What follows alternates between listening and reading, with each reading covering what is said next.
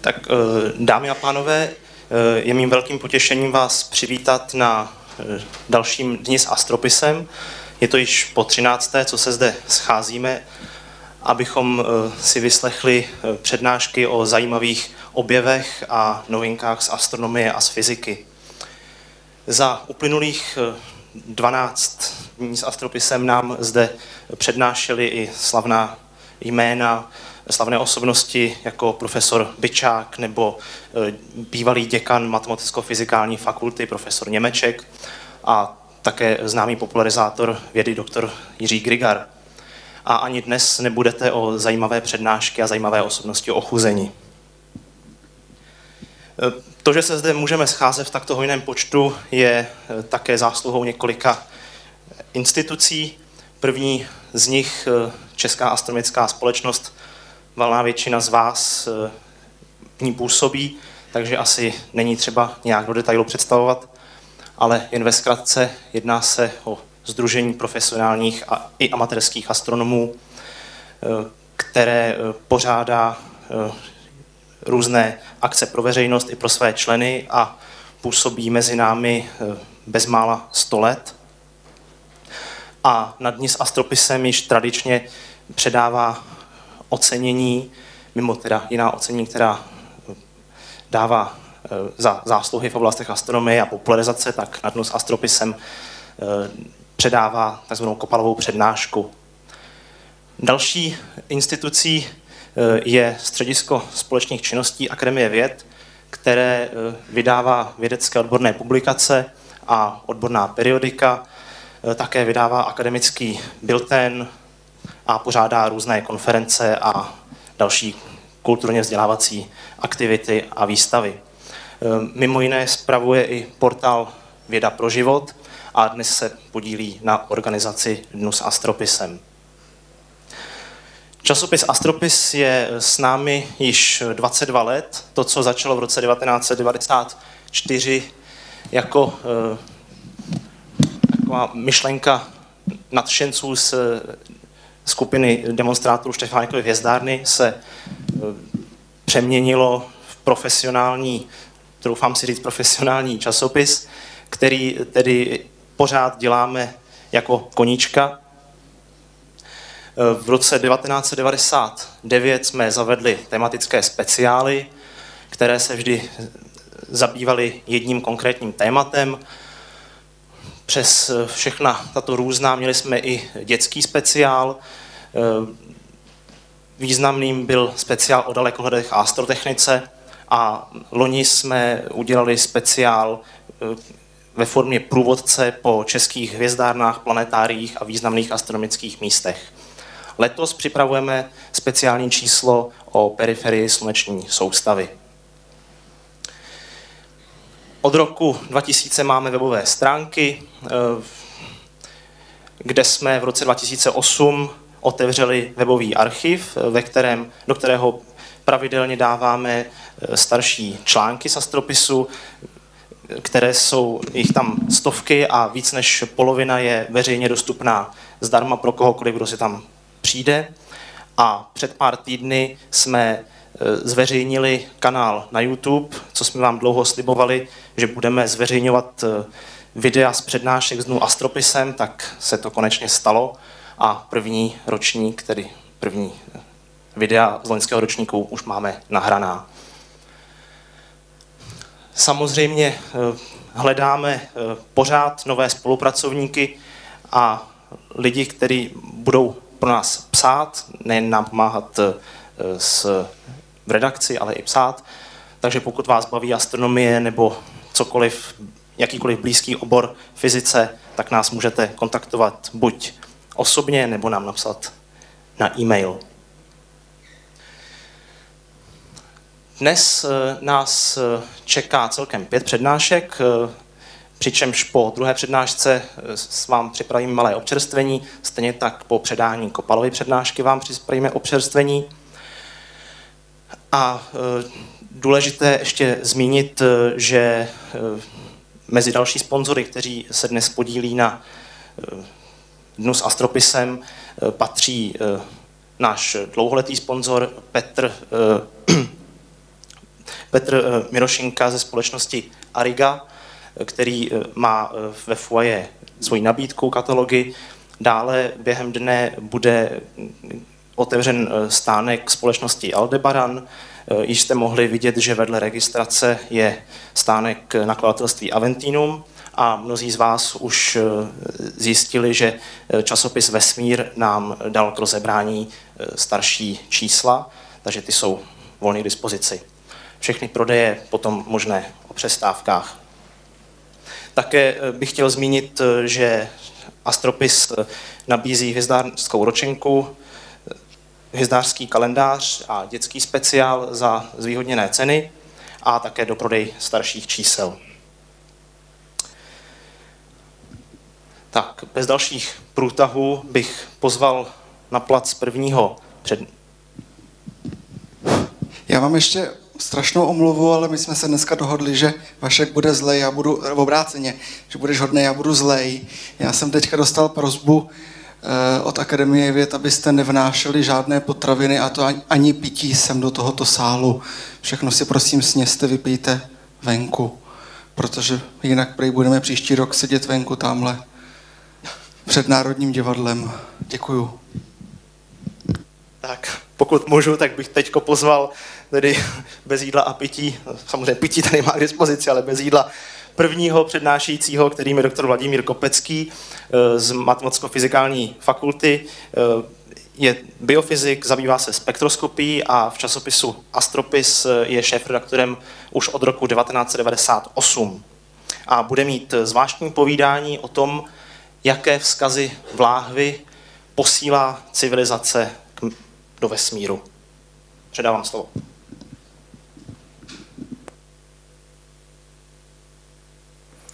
Takže já děkuji za milý úvod.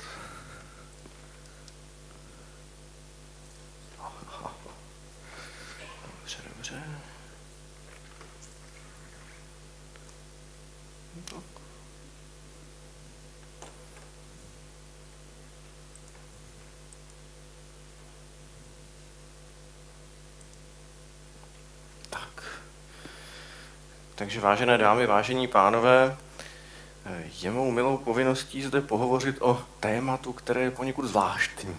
Už ten název, zkazy vláhvy, ukazuje, že to nebude příliš astronomické vyprávění, bude to vyprávění, které má možná víc společného s nějakou sociologií nebo kulturologií. Nicméně ten podtitul Halo, je tam někdo, ten napovídá, že to je naše zoufalé volání do vesmíru. Přeci jenom nechceme si připustit, že jsme sami, nechceme si přiznat, že vesmír je pustina, že vesmír nás možná dokonce nemá vůbec rád. A tak se chováme poněkud infantilně a snažíme se do toho vesmíru volat. A to naše dětinské chování možná, že neznamená, že voláme po někom, kdo by byl zralejší, kdo by nám poradil nějakým způsobem. Možná je to volání nějaké matinky, ale pak se nemůžeme divit, že bychom taky jednoho dne něco mohli najít tohohle charakteru a taky je možné, že nakonec je to vůbec záležitost, která může mít i potenciální nebezpečí, takže nakonec si můžeme dovolit, že vyklajmujeme nějaké oblasti a řekneme, ne, ne, pozor, tady jsou ufoni, tam vůbec vlastně jít nechceme. Takže je to záležitost prapodivná, a ta přednáška celá je spíše o tom, abychom se zamysleli. Abychom se zamysleli sami nad sebou, nad osudem naší civilizace, eh, nad tím, co chceme sdělit, co chceme říct o sobě a co je tak hrozně podstatné na tom, že tady jsme na té malé, bezvýznamné tečce. Budíš řečeno, že toto má jisté analogie s posíláním lahví. Pokud budete trosečníky na nějakém ostrově, tak vlastně ta situace je velmi podobná. Vezmete tu láhev, vyzmuknete gin či whisky, to vám dodá optimismu, chopíte se brku a začnete psát nějaký vzkaz. Jenže ta analogie teďka začne pokulhávat, protože nejenom, že jste teda nabili zřejmě trošku milného optimismu, že tu lahev někdo najde, konec konců, když najdete lahev někde ležet v písku na pláži, tak se na ní tak jako podíváte dneska Případně, když to najde malé dítě, tak řekne, ne, neber ty odpadky, nech je tam, takže osud takového vzkazu může být rostodivný, může být prapodivný a třeba ho nikdo ani číst nechce. nebo těch vzkazů tam plave tolik, což je asi dnešní případ, prostě těch odpadků je v moři mnoho, že možná to není vůbec zajímavé zabývat se hledáním nějakých vzkazů, ale co je velmi podstatné, my se tváříme velmi optimisticky, aniž bychom se nutně posílili tím džinem či whisky a píšeme jakési vzkazy, ale my nevíme, komu je píšeme. My jsme v dost jiné situaci, než jsou trosečníci na pustých ostrovech, protože oni vědí, že tam někde je někdo, kdo umí číst, takže když se to napíše anglicky, tak je to vlastně v pořádku, většina lidí to zvládne, můžete to taky napsat čínsky, to by asi taky většina lidí zvládla. Víte, že jsou tam bytosti, jako jsme my.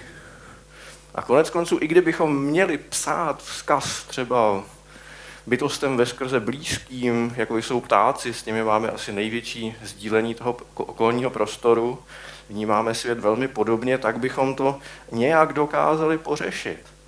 Ale co si máme počít, když chceme psát vzkaz a nevíme komu? Dokonce už jenom sdělit nějaký rozumný vzkaz těm, které považujeme za blízké, příbuzné, to znamená třeba savcům, je velký problém, protože lidé jsou dost prapodivné bytosti a vlastně nezdílejí ten svět především vůní a černobílého vnímání světa, tak jako většina savců. Tak jaká je ta naše situace, když chceme napsat někomu a nevíme komu? Nevíme ani co bychom měli napsat? Do jisté míry se to podobá té analogii v tom, že stejně jako ten trosečník většinou chceme napsat halo, jsme tady. Je pochopitelně otázkou, jestli je to rozumné a jestli tím něčeho docílíme. Protože konec konců, i když se budeme pokoušet třeba hledat takovéhle vzkazy v láhvi, tak to může dopadnout tímhle způsobem. Prostě zjistíme v zoufalství, to je napsáno it's a message of hope, čili to je, to je vzkaz naděje, že možná pokud tam někde jsou nějací mimozemšťané, tak jsou stejně zoufalí, jako jsme zoufalí my, že píší jakési vzkazy a marně doufají ve své dětinskosti, že ten někdo bude chytřejší než oni a že za ně vyřeší ty problémy, které tady dneska máme a kdy vlastně to, co činíme, je poněkud zvláštní, když bychom měli řešit problémy, které máme zde e, na zemi.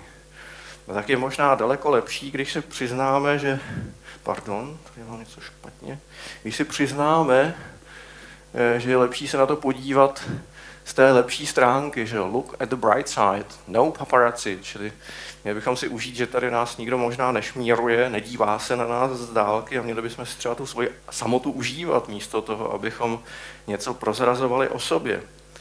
Ona ta situace, že chceme vůbec nějaké vzkazy vysílat do vesmíru, je zvláštní v tom smyslu, že my jsme se na rozdíl těch trosečníků neposílili nějakým optimismem a přesto se velmi optimisticky tváříme vzdor tomu, že ta fyzika jde v tuhle chvíli proti nám.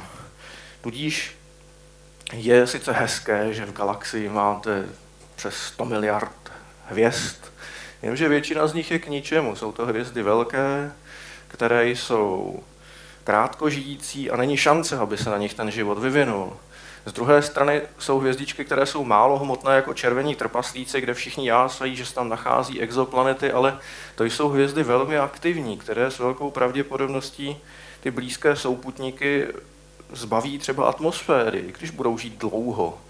A ten život mohou zahubit velmi snadno. Krom toho vidíme, že spousta těles, které nacházíme, tak jsou horcí Jupiteři, kteří sedí na nevhodných drahách, které mají tendenci vypudit příslušné planety zemského typu z těch blízkých oběžných drah, kde je hodná teplota, kde by se tomu životu potenciálně mohlo dařit. Takže ta situace není tak růžová, ale přesto světu je tam zřejmě hodně.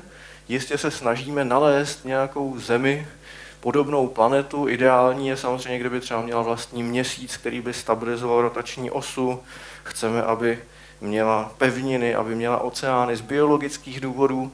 Ale pravdou zase je, že i když se to jednou možná podaří, tak všechny tyhle ty obrázky, co tadyhle vidíte, tak jsou jenom umělecké představy. Nikdy nebudeme mít šanci eh, zobrazit v nejbližší době planety nebo exoplanety jako kotoučky. Je to hudba až velmi vzdálené budoucnosti. Navíc to hledání té další země, ono vypadá tak, že v zásadě, když najdu planetu, která je terestrického typu, čili je kamená, má přibližně stejnou hustotu, takže je všechno vyřešené a v tu chvíli ten život tam má na růžích ustláno, pokud ta planeta obíhá ve vhodné vzdálenosti v takzvané obyvatelné zóně, takže všechno bude v pořádku. Jenže pokud ta planeta bude eh, o něco málo méně hmotná, tak ji čeká s velkou pravděpodobností osud našeho Marsu, nebude mít deskovou tektoniku. Pokud ji bude mít, tak má zase nízkou gravitaci, vyvrásní se tam velká pohoří, budou tam obrovské teplotní rozdíly. Eh, spíše pravděpodobné, že žádnou deskovou tektoniku mít nebude a zároveň zřejmě nebude mít ani magnetické pole, takže přijde o svoji atmosféru vlivem té mateřské hvězdy. Z druhé strany, když bychom řekli, no o trošku teda přidáme toho materiálu, bude to v pořádku, tak vyrobíte těleso, které může být třeba pokryto globálně oceánem, a to je velmi špatné, protože tím zastavíte oběh živin. Nebudete mít kontinenty, nebudete mít výrazné zvětrávání. Takže vy vlastně potřebujete najít světy, které jsou velmi blízké tomu světu, jak ho známe tady. Protože to je právě vhodné vyladění podmínek pro to, aby se život vyvinul a aby mohl dlouhodobě existovat. Na těchto tělesech se možná může vyvinout, ale dlouho mu to nevydrží. Samozřejmě, že jednou tu zemi 2.0 nalezneme. Už teď máme vhodné kandidáty. Pravda, vždycky jim něco chybí k dokonalosti.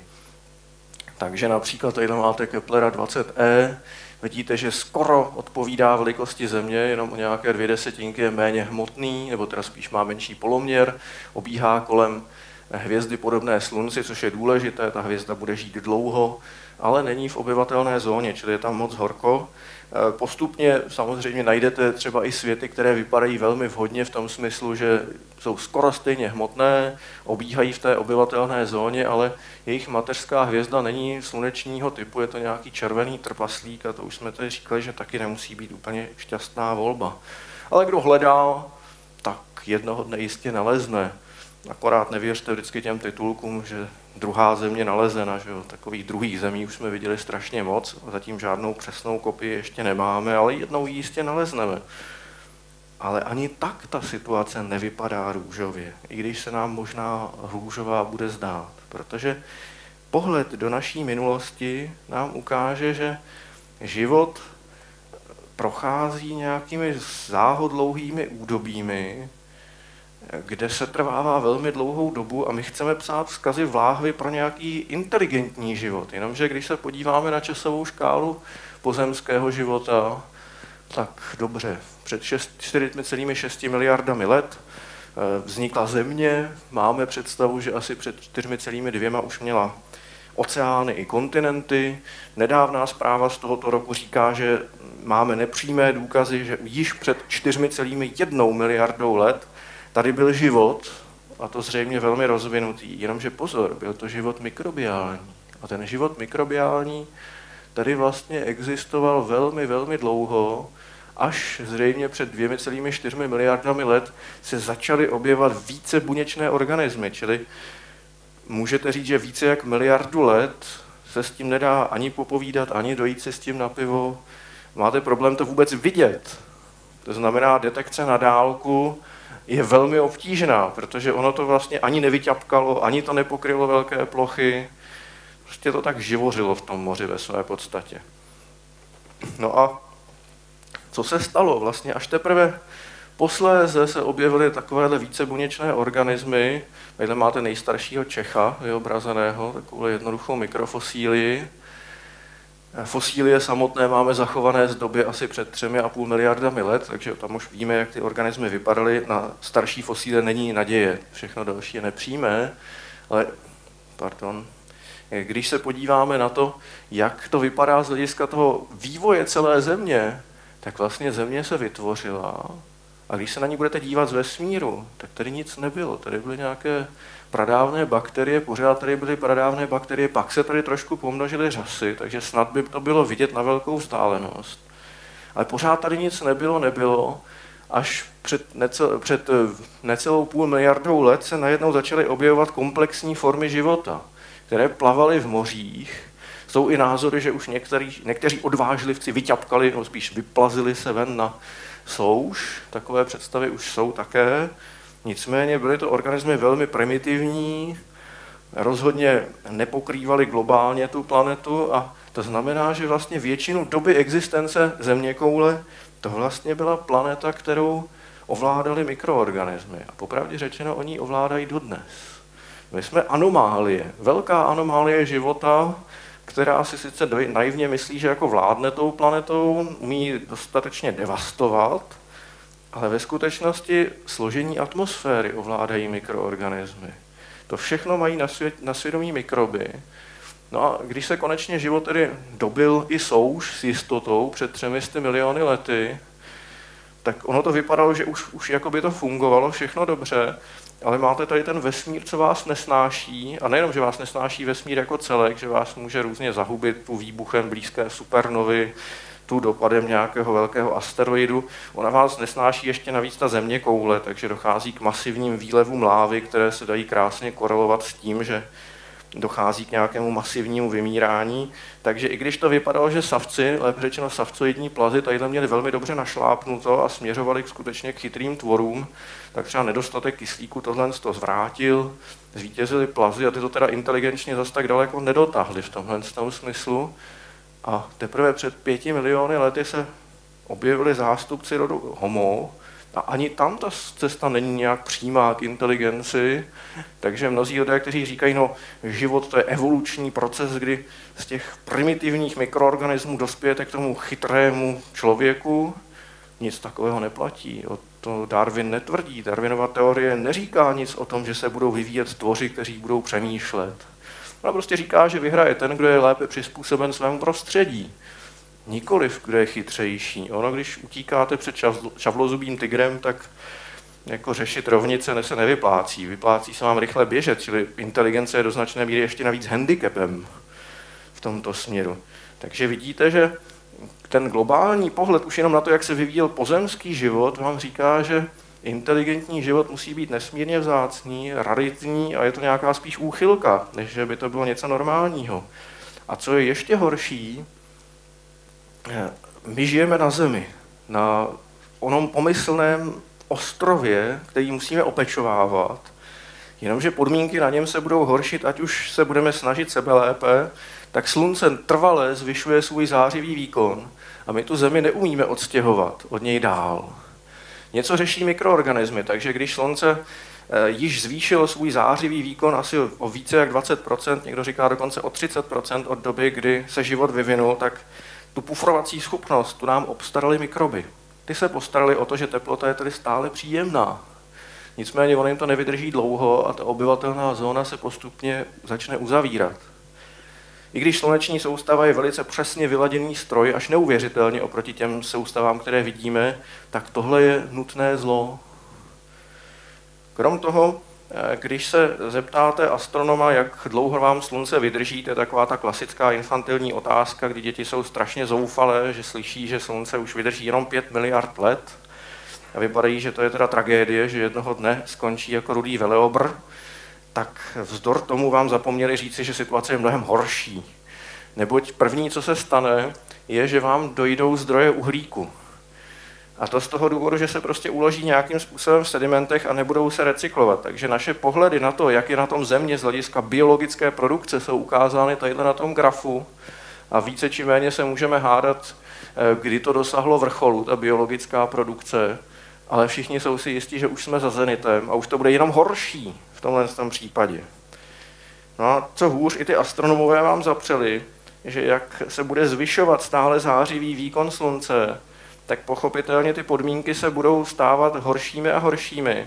A ty mikroby to nezvládnou pufrovat celou tu dobu, do těch pěti miliard let, ale ve skutečnosti to už velmi brzy zabalí. Zabalí to především ten vícebuněčný život, takže do nějakých nejdéle 500 milionů let bude po vícebuněčném životě veta. Už to nebude schopen zvládat trvalý nárůst teploty. Mikroby to možná ještě nějakou dobu zvládnou, ale i tak vám se vypaří postupně oceány. S jistotou se vypaří někde kolem 1,5 miliardy let, ale možná, že jako většina z nich zmizí a zavlhčí tu atmosféru mnohem dříve.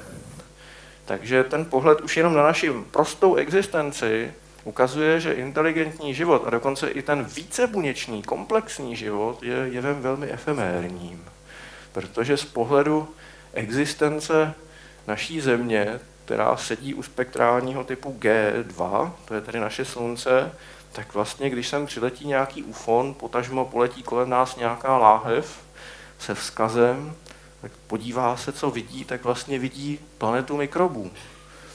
Po celé ty miliardy let by z oběžné dráhy neviděl fakticky nic moc, maximálně by teda poznal, že jsou tady nějaké zelené řasy. A to by bylo všechno.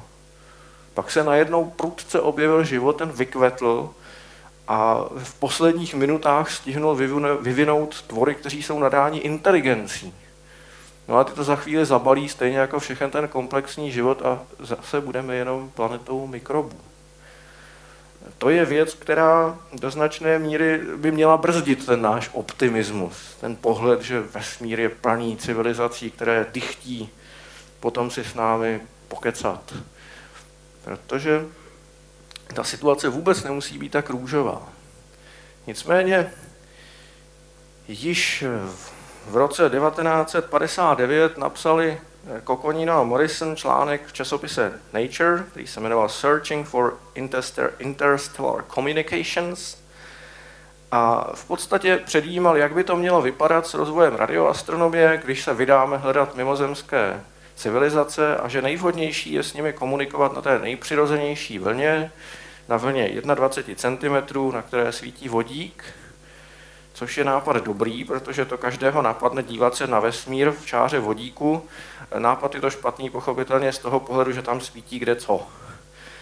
Nicméně i tak, ten nápad, že vůbec se vlastně s rozvojem radioastronomie s někým můžete spojit na velkou vzdálenost, podnítil Franka Drakea, který v roce 1961 na konferenci eh, Oni tomu říkali delfínního řádu, kde se scházeli lidé, kteří se zabývali vlastně astrobiologií, nebo v té době se tomu říkalo exobiologie, a kterým vévodila jedna dáma, která se zabývala komunikací s, delfíny, del, s delfíny, tak proto delfíní řád, tak navrhl rovnici, která by nám mohla pomoci matematicky uchopit tu možnou existenci života ve vesmíru a podchytit všechny prvky, které se do ní vřazují a které mají vliv na to, jestli se objeví inteligentní život či nikoliv. Eh, čili účelem je spočítat počet civilizací, které jsou schopné v současnosti eh, komunikovat. No a co se k tomu hodí vědět, tak nějak, jak rychle vznikají hvězdy v galaxii, kolik těch hvězd má planetární systémy, kolik je průměrný počet planet u jedné jednotlivé hvězdy, no a následně, jaký je podíl planet s podmínkami vhodnými pro život, to ještě pořád vidíte, že to je observační astronomie. V podstatě tyhle prvky ty dneska umíte poměrně dobře odhadnout. Při nejmenším řádový odhad je správný v tuto chvíli, protože už máme dostatečně velký soubor i exoplanet, takže ty odhady jsou velmi rozumné. Jenomže pak se tady začnou objevovat divné členy. Podíl planet, na níž vznikl život. Hmm. A to víme jak. Na jednu stranu nápovědou je, že ten život na Zemi vznikl velmi záhy. Jestli se potvrdí ta pozorování, že vznikl již před 4,1 miliardou let, tak v podstatě je otázkou, jestli nevznikl hned po tom, co se tady objevil oceán a pevnina, takže možná před těmi 4,2, kdy to prostě šlo. To je otázka, jestli se dostaneme k tak starému materiálu. Takže asi to jde snadno v tomhle případě. Jenomže pak je další prvek, podíl planet, na nich se vyvinul inteligentní život. Hmm. To zase nevíme. A nevíme to už naprosto dokonale, protože neexistuje žádný přírodní zákon, který by toto nějak limitoval. Darwinova teorie to není. Může to být naprosto čistá náhoda. Ta nejčistší náhoda, ta největší štěstí, či neštěstí, podle toho, jak se na to podíváme, které ve vesmíru se událo. No a pak máte ještě další věc, podíl planet s technickou civilizací. Opravdu si myslíme, že každý inteligentní život musí vyvinout technickou civilizaci? Co když to tak není?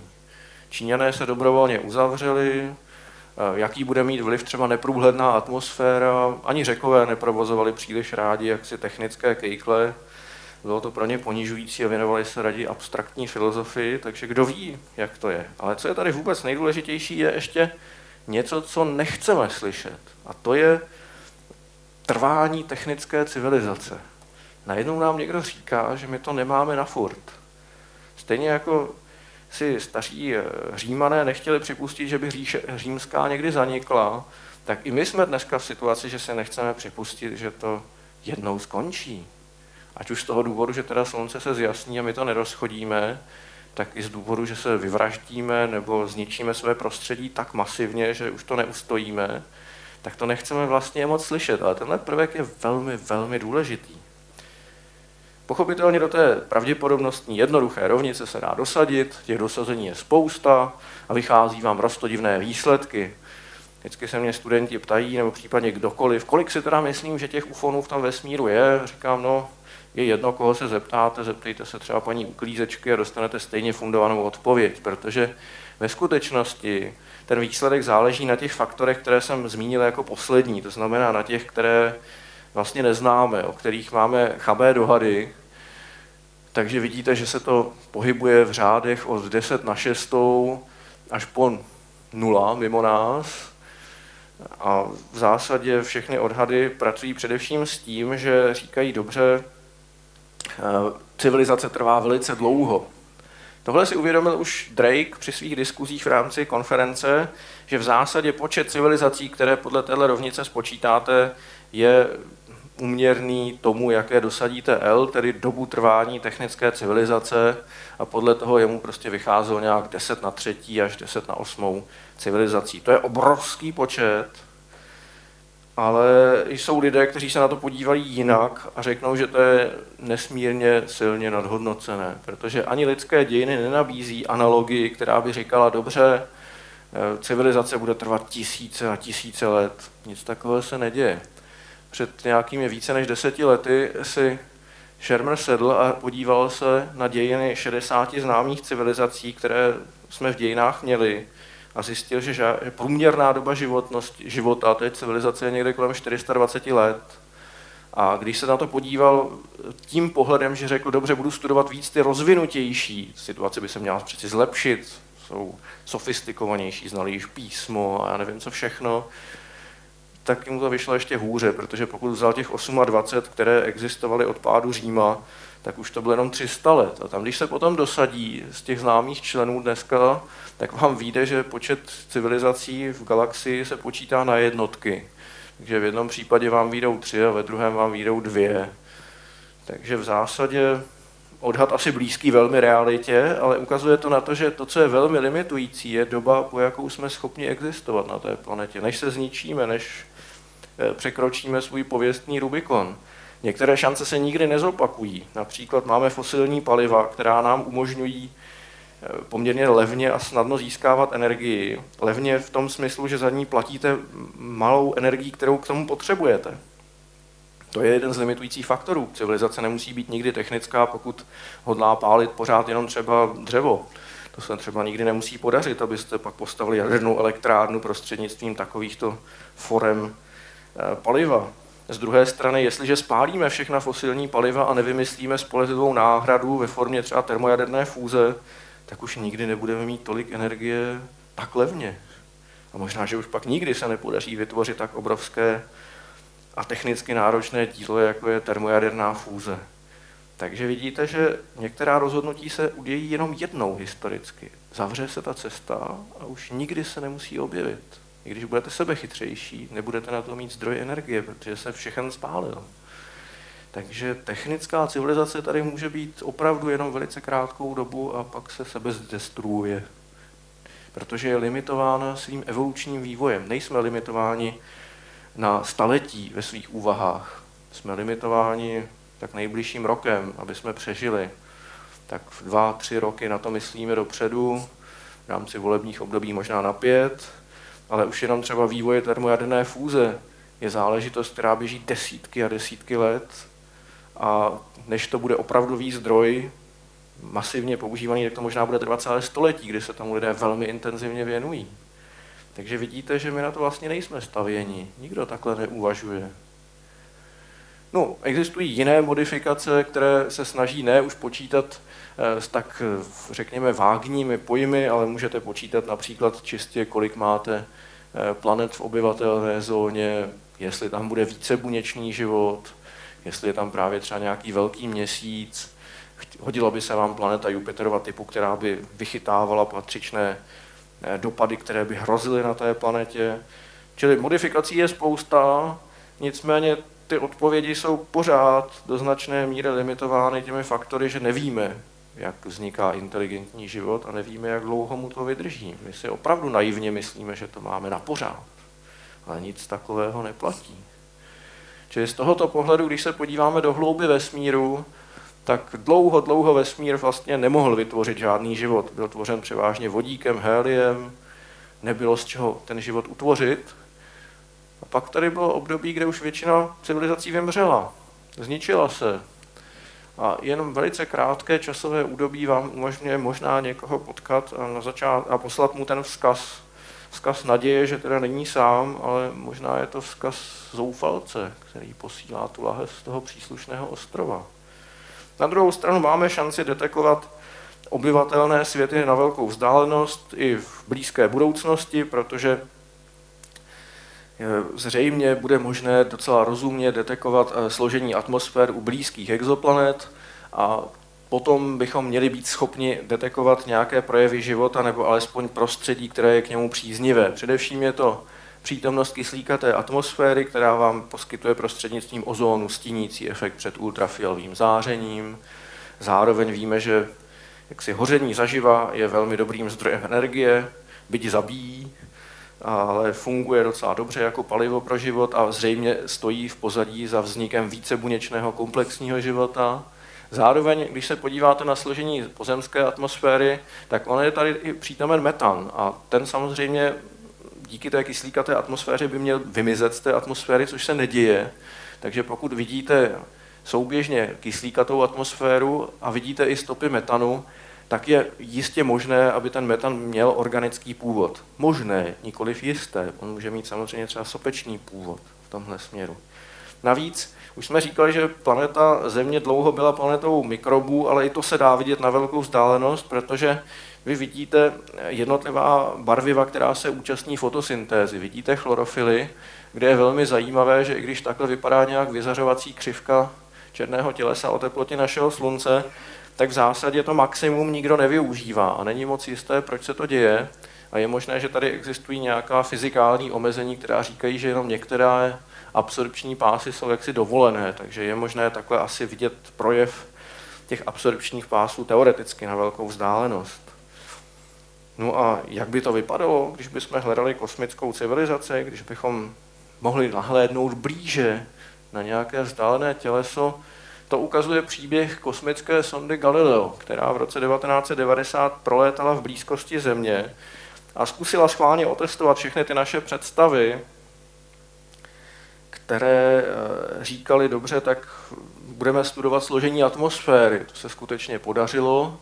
Eh, viděla nepochybně na fotografiích projevy počasí, oblačnost, o tom se nám může u těch exoplanet jenom zdát. Nicméně zaznamenala tedy přítomnost eh, kyslíku, ozónové vrstvy, přítomnost vodních par, ale viděla ten metan mimo jiné. A v silné termodynamické nerovnováze s kyslíkem, čili to se dá vidět velmi dobře, a bylo to jistě dobrá nápověda, že tady nějaký život existuje. Mnozí by řekli, že to bylo nějak vidět přeci. No, ono to na Zemi moc vidět taky není až tak slavně. Ona viděla, když tak silnou absorpční hranu, která odpovídala v té červené oblasti tomu, jak absorbují chlorofily, ale v zásadě většina země je taky docela pustá. Buď vidíte oceán, nebo vidíte nějaké pouště, nebo vidíte hornaté oblasti a pokud nemáte štěstí, že proletáte nad dnešním pralesem, tak toho moc vidět není. Ale co je daleko zajímavější, zaznamenala pochopitelně rádiové signály. Čili je dobré si uvědomit, že nejčastějším vzkazem vláhvy, který můžete zaznamenat od jiných civilizací, budou nějaké pravidelné pulzy, které de facto pochází jako, techno, jako technický odpad, jako šum, který pochází vlastně od všech radiových vysílačů tady na Zemi, takže je krásně dokonce vidět, jak se Země postupně otáčí, že? protože se vám zhruba zopakuje intenzita i profil té spektrální čáry, takže, nebo i té intenzitní čáry, takže vidíte, že byste z toho odvodili, jak Země třeba rotuje. A to se dá vidět na velkou vzdálenost. Takže takhle nějak by to mohlo teoreticky vypadat, až na to, že jsme úspěšně zdetekovali život akorát u nás na Zemi. Je pochopitelně snahou činit nejdřív to nejjednodušší. Než posílat ty vzkazy, tak zkoušet ty láhve hledat v tom vesmíru. Takže už když napsal ten Kokonino s Morisem ten první článek, tak to vzbudilo dostatečný zájem o naslouchání, takže se objevil projekt OSMA Franka Drakea, na který posléze navázaly projekty CETY a SETY, které naslouchaly vesmíru eh, na různých vlnových délkách, přednostně samozřejmě i v té čáře 21 cm, využívaly se k tomu řady teleskopů po světě. Nakonec projektu SETI se účastní teda největší radioteleskop v Arecibu na ostrově Porto Rico.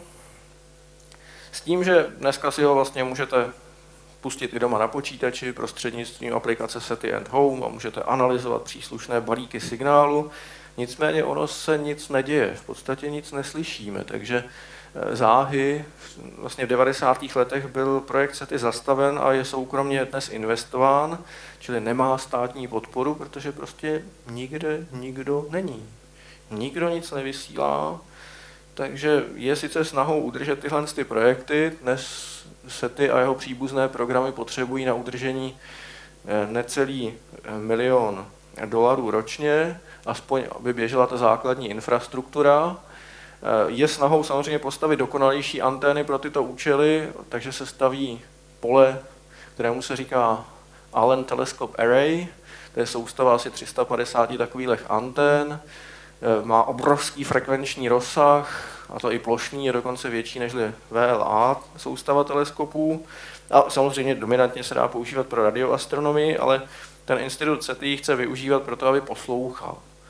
Je to obtížně financováno, na druhou stranu je to docela levné ve skutečnosti. Můžete si klidně zaplatit jednu tu anténu, když jste dostatečně bohatí, tak si pamatuju, že Jill Tarterová nabízela v Praze a hledala sponzory, že kdo chce, takže vždycky každá anténa se jmenuje po sponzorovi. Takže když seberete svých pár milionů, tak si jednu můžete koupit.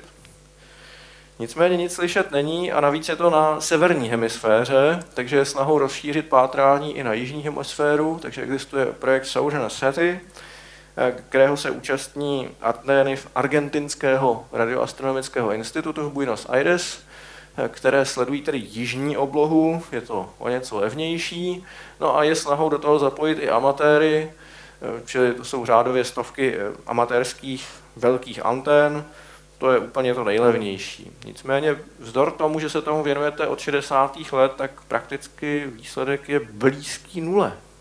Navíc je potřeba si uvědomit, že radiové vysílání vypadá sice nezměrně zajímavě, se tváříme, jak je to super, ale ono je hrozně pomalé a neefektivní. Čili je otázkou, jestli tímhle způsobem vlastně kosmické civilizace chtějí komunikovat a jestli tohle je ten správný kanál. Energeticky je to málo náročné, to je pravda, ale nemůžete toho mnoho zakódovat.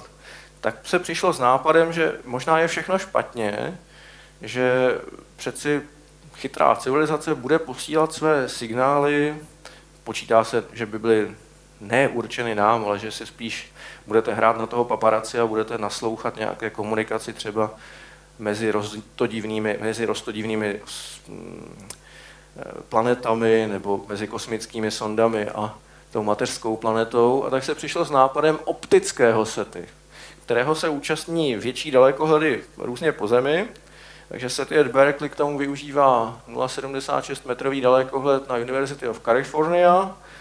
A Optical SETI teleskop má necelé 2 metry, je na Harvardu v Massachusetts a všechny tyhle dalekohledy, plus ještě teda na Likově observatoři, kdy jednometrový dalekohled se snažili v nějakém období eh, necelých deseti let hledat nanosekundové pulzy, protože do laserového pulzu můžete toho informačně vložit mnohem a mnohem více. Pochopitelně je tady problém v tom, že to je energeticky nesmírně náročné vytvořit něco takového. To vyžaduje civilizace velmi pokročilého stavu, aby byly schopny investovat energie tak obrovské do laserových pulzů, aby se tedy dali zaznamenat na, kosmo, na kosmických vzdálenostech. Ten projekt dopadl vlastně záporně, stejně jako to radiové sety, tudíž nezaznamenal žádné signály a dneska je v podstatě v útlumu, takže řada těch projektů vlastně byla zastavena, protože to je náročné.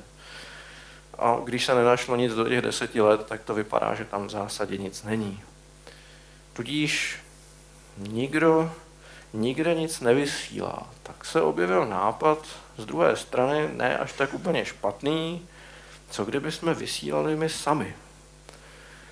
Eh, to první vysílání ve skutečnosti není vysílání tohle.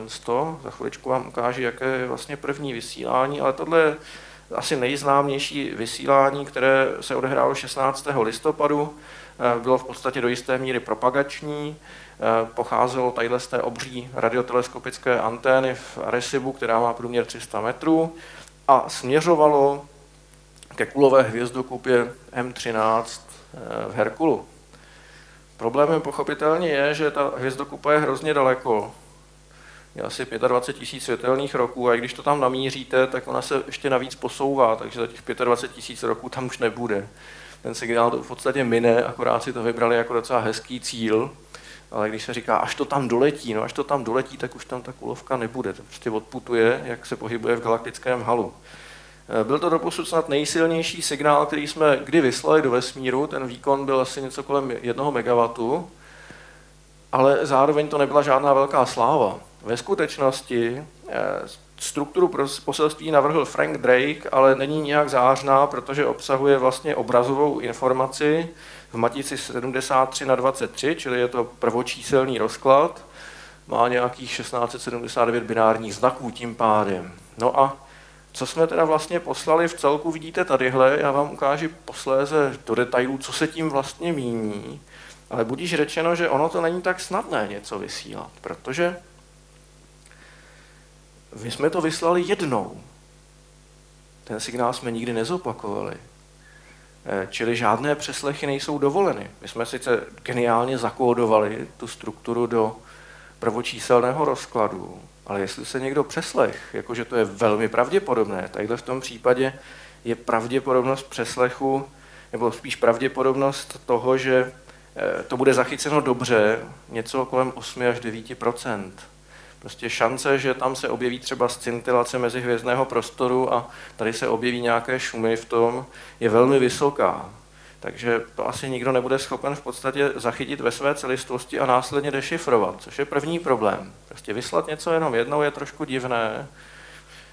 A navíc záleží, co tam vlastně eh, ve své podstatě chcete zapsat. Co byste tam chtěli v podstatě ukázat. Poslali jsme to jenom jednou k naprosto nesmyslnému cíli, jako propagace to bylo dobré. Jo, to se objeví často v těch dějinách. A co jsme jim vlastně napsali tak světoborného? No, první část kódu je počítání. Musíte je naučit počítat, což zároveň ukazuje na to, že jste dostatečně chytří, že umíte počítat do, de- do deseti, takže i u dětí to funguje. Že jo? Takže tady píšete v binárním kódu 001, 010, 011, takže 1, 2, 3, 4, 5 až 10, tady máte napsáno. Eh, tohle je pak koncová značka. První věc, co je tady vidět, je, že vy vlastně nulu udáváte jako žádný signál. To je hrozně špatně. Že jo? To hrozně napovídá, že přeslechy a parazitní signál vám tohle budou rozbíjet. Takže to je jedna z dalších vad tadyhle toho zakódování, že vlastně nulu znázorňujete jako nic, což není vůbec šťastné. Co potom píšete světoborného dál? Napíšete 1, 6, 7, 8 a 15. To už vyžaduje velkou inteligenci, to není totiž matematický rébus. Snažíte se těm bytostem sdělit v tom vašem vzkazu v láhvi, eh, jaké jsou hmotnosti atomů, ze kterých se skládáte. Takže říkáte vlastně, že jste z vodíku, uhlíku, dusíku, kyslíku a fosforu. To je pravda. Jo, nemusíme si hrát na to, že jsme kdo ví jak dokonalí, v podstatě naše složení těla je velmi jednoduché. Na druhou stranu vyžaduje to opravdu jako velmi inteligentní tvory, že jo, aby poznali, že jim píšete něco takovéhohle. No a pak se projeví posedlost eh, strukturou DNA, která v podstatě pramenila od doby jejího objevu, jak je hrozně důležité sdělit, jaká je naše genetická informace. Takže jak, jak sexy máte tu DNA, tak říkajíc, ale napíšete to opět hrozivým způsobem. Takže to, co je tady nakreslené, to je přesně to, jak by se vám objevil ten obrazec. A každá tahle část, každý tenhle ten prvek, kromě toho, že je ohraničen koncem, tou růžovou částí, tak vlastně říká, dobře, eh, tadyhle jsou sumární vzorce z těch chemikálí, které tvoří DNA, čili tohle je jeden řetízek DNA, tohle je protiběžné vlákno, když si představíte, že to je dvojšroubovice, tak to jsou prostě ty vnější části kostry, A tady v podstatě udáváte sumární vzorce, kdy tady říkáte, že tohle je deoxyribóza, tohle je fosfát, tady znova deoxyribóza a tak dále. A tohle to je naznačené párování bazí, čili tady jsou vlastně písmena genetické informace uvnitř, ale máte je opět napsané sumárně. To znamená, vy tam sdělujete vlastně 5, 5, 2, 2. Hmm. Zběhlejší v biologii jasně chápou, že tohle je úplný nesmysl. Z toho se nikdo nic nedozví, protože jenom možností, jak uspořádat tyhle jednotlivé báze nukleových kyselin, potažmo jaká písmena si zvolíte, tak toho jsou stovky. Můžete si vybírat mraky látek a pokud někomu sdělíte sladké tajemství sumárního vzorce, tak se toho moc nedozví a v podstatě tadyhle. Maximálně by tedy jako věděl, že geneticky jsme založeni na nějaké dvoušroubovici. Ta posedlost tou dvoušroubovicí samozřejmě pokračuje, takže tadyhle jsme napsali nebo nakreslili DNA, no Bůh sud, jestli to člověk pozná, a to prostřední, to je číslo, které udává, jak jsme asi strašně chytří, protože to je přibližný počet jednotlivých písmen toho genetického kódu. Budíš řečeno, že to je úplně nesmyslné číslo, protože taková řasa toho má víc než my mnohdy. To číslo neříká vůbec nic o tom, jak jsme složití, ale to se v té době nevědělo, takže to byl otisk jaksi lokálních znalostí té doby. A jak říkám, řasy toho mají mnohem více, některé organismy toho zase mají mnohem méně, je tam spousta odpadní DNA, která se využívá k jiným účelům. No a pak následuje obrázek, kde když popravdě řečeno tohle zkusíte komukoliv ukázat, tak není jisté, jaký bude výsledek. Když to máte takhle zorientované na výšku, tak dobře, a když to otočíte o 90 stupňů, tak ta ryba, co tam je, to jsme my, že jo, v tu chvíli, nebo to je domeček, v zásadě není moc jasné, na co se tady díváme. Nicméně udáváme aspoň, jak je to veliké, ale opět velmi divně. Tohle je měřítko a tadyhle je napsáno, tadyhle je napsáno 14. Hmm. Jenomže vy jste nikomu neřekli, jaké je měřítko. Musíte uhádnout, že měřítkem je vlnová délka, na které Arecibo vysílalo, a to bylo 12,6 cm. Takže když to vynásobíte, tak dostanete 176 cm a to bylo tolik, kolik měřil Frank Drake.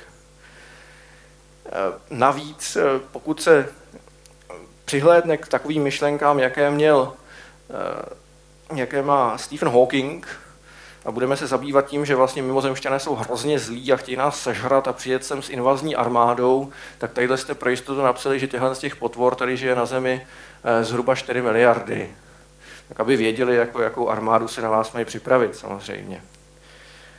Pak bylo snahou nakreslit sluneční soustavu s tím, že Zemi jste vysunuli bokem, máte tady i Pluto, a nakonec jste se pokusili nakreslit tedy anténu v Arecibu a udat její rozměr. No, je pravdou, že jako nejenom pohled na tohle a na tohle vyžaduje značnou fantazii a i tvorům pozemským dává zabrat, což jsme to vlastně nakreslili, plus tohle to vypadá jako hezký domeček nebo značka pro metro, jak kdo chce. Eh, takže není to vůbec snadné vybrat něco, co můžete takhle jednoduše zakódovat a je to velmi jednoduchý vzkaz. Na druhou stranu, přeci jenom jsme něco zaznamenali, když jsme se dívali do vesmíru. 16, eh, pardon, 15. srpna 1977 eh, velké ucho, Big Air, eh, na University, nebo Ohio State University, což je nepohyblivý radioteleskop, zaznamenal signál, kterému se dneska říká wow, protože když se podíváme na ten záznam, tak tadyhle je záznam intenzit, které se kódovaly do čísel a následně do jednotlivých písmen abecedy, tak ten, kdo jej vlastně dekódoval, Jerry Ehman, tak ten, eh, když viděl tadyhle ta čísla a najednou mezi nimi se objevila písmena abecedy, tak eh, to musel být sakra silný signál, tadyhle vidět, jak narůstá v té intenzitě, tak to zakrouškoval a napsal k tomu wow. Protože přesně takhle bychom asi viděli mi to vysílání z toho Areciba. Eh, ten signál bohužel mohl sledovat ten radioteleskop vzhledem k tomu, že je nepohyblivý pouhých 72 sekund a on už se pak nikdy nezopakoval byl velmi silný a co je velmi zajímavé, byl zaznamenán na dvou frekvencích, ale obě dvě ty frekvence jsou velmi blízké čáře toho vodíku. Že by to byla nějaká mezihvězdná scintilace, která by se objevila, to se zkoušelo pomocí VLT, Very Large Array, které se tam dívalo do této oblasti, což je vlastně oblast souhvězdí Střelce. Je to oblast, které bychom, kterou bychom nazvali middle of nowhere. Tam prostě nic není v těchto z těch dvou místech. Nejbližší hvězdy chý jsou tadyhle a pak někde Bůh ví, kde od toho ještě jedna kulová hvězdokupa. Ten signál se nikdy nezopakoval, není zřejmé, co to je. Ale faktem je, že přesně takhle by asi mohl někdo vnímat to vysílání s Aresibou, protože už se to taky neopakovalo. Bylo to dostatečně silné, bylo to dokonce na frekvenci, kterou předpověděl ten Kokoníno s tím Morrisnem. Spekuluje se o tom, že to je snad jako odraz od nějakého kosmického šrotu, nejspíš asi vojenského, aby byl dostatečně utajen. Nicméně nevíme, co to je. Je to ale hezká představa, jak by to vlastně mohlo vypadat. Eh, nicméně nebyl to, nebyly vlastně mm, snahy z toho Areciba první, které se snažili mm, domluvit se s kosmickými civilizacemi. To vůbec první byla Morzeovka, kterou jsme vysílali k Venuši jako kalibrační signál, kde se v Morzeovce sdělilo Mir, Lenin, SSSR. Jenomže uvědomme si, že ve skutečnosti to znamená, že my vyšleme obrovský, velmi intenzivní radiový puls k nějakému tělesu, on se odrazí, takže vlastně tenhle ten eh, radioteleskop je v Patorii na Krymu, tak ten byl planetárním radarem a jako první získal radarové ozvy od Venuše, Marsu, Merkuru, Jupiteru a tak dále. Takže on byl velmi intenzivním zdrojem a primárně nesloužil k tomu, aby někam vysílal. Přesto pochopitelně ten signál minul Venuši a směřuje dál ke hvězdičce s tímhle s tím poetickým označením.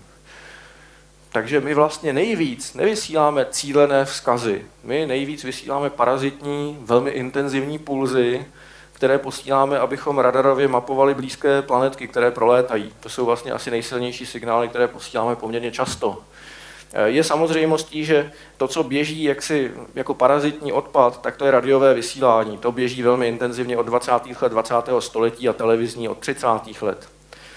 Eh, pak byl zkaz Areciba, eh, pak se objevily vzkazy tzv. kosmické volání 1-2 z jiného obřího radioteleskopu zase na Krymu, přičemž bylo snahou velmi chytře znova odeslat signál, který byl odeslán z Areciba, takže aspoň jsme poslali to samé znovu do vesmíru.